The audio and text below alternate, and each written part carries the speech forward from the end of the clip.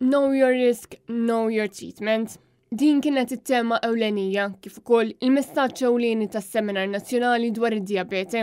Chris Delicata, il-President tal-Assoċjazzjoni tad-Dijabete, għalinna li din it-tema kienet mażula għas-summit biex ikun hawn iżjed għarfien dwar id-dijabete minn aspetti differenti, fosthom il-prevenzjoni u l-kumplikazzjonijiet li din il-kundizzjoni tista' twassal għalihom. ukoll l-importanza ta' dieta bilanċjata. Kull erbatax ta' Novembru, madwar id-dinja lkoll jiġi ċċelebrat il-Jum Dinji Kontra d-Dijabete. Il-Federazzjoni Internazzjonali tad-Dijabete tagħżel tema dis-sena hija Know Your Risk, Know Your Response. L-Għaqda ħasset li għandha tagħmel dan is-seminar li se tiffoka fuq din it-tema minn aspetti varji. F'Malta għandna rata għolja ta' dijabete. Infatti, huwa stmat li 11% tal-adulti ibatu minn xi tip jew ieħor ta' dijabete. Għalhekk huwa importanti ħafna li jkun hawn iżjed għarfien dwar din il-kundizzjoni, kemm fil-livell ta' prevenzjoni kif ukoll dwar l-importanza tal-iscreening, kif spjegalna sew Stephen Fava. Il-Kap tad-Dipartiment tad-Dijabete f'Malta. Importanti nagħmlu screening regolari għax nafu li d-dijabete, speċjalment dik tat-tieni tip, ħafna drabi ma jkollu sintomi jew idumu ma jaqbdu s-sintomi ħafna snin u allura nafu li jgħaddu erba' sa sitt snin qabel wieħed millu jkollu dijabete sakemm jinduna jekk m'għamilx screening regolari.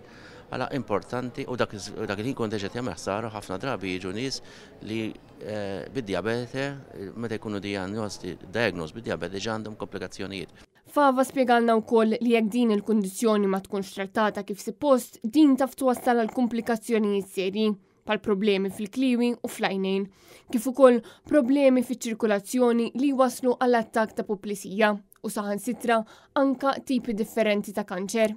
Iva, jista' jkun ħafna komplikazzjonijiet fid-dijabete inkludu fl-għajnejn, jiġifieri anke jekk tkun avvanzat biż-żmien anke tista' titlef id-dawl t'għajnejk b'tama.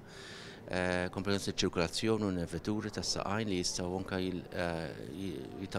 jġibu amputazzjonijiet u apoplesiji u strokes u anke ċertu kansers. Sfortunatament jekk ikollok dijabete mhux kontrollat jidhirlek ir-riskju. Jiġifieri hemm ħafna komplikazzjonijiet. Madanakollu bosta mill-kumplikazzjonijiet jistgħu jiġu evitati jekk min ikun dijanjostikat jieħu l-kura neċessarja u jsegwi dieta bilanċjata.